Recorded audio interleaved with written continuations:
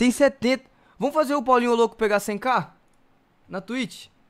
Um beijo, durmam bem, até amanhã. Fui! É nóis! Paulinho tremendo Já do idiota. Moleque, os caras tava na mala, um cara começou a falar, mano. Não senão fazem a gente vai nada aí. Tá, porra, ganhei gank, velho. Que isso? Assim, Tá vai dormindo lá, aí, pô? Qual foi? Qual Mãe, foi? pô. Pera aí, pera aí, rapidinho. Pera aí, pera aí.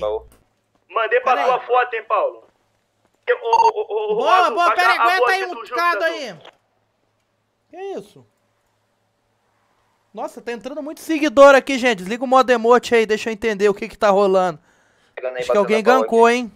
Vou fazer a contagem, bota embaixo, separado ali.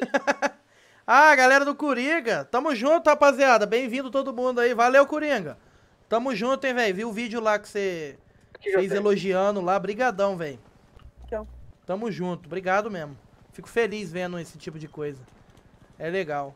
E, né, gente, até aproveitar esse momento aqui pra ressaltar que às vezes, no- às vezes eu vejo, tipo, uma galera marcando eu nos TikTok dele, eu comentando no meu, como se existisse uma rivalidade, velho. Mas eu com o Coringa já até fez alguns RP junto, bem pouco. A gente só não tem muita ligação no RP, entendeu?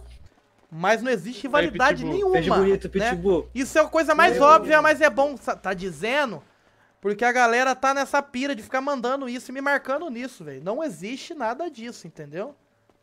Pelo amor de Deus.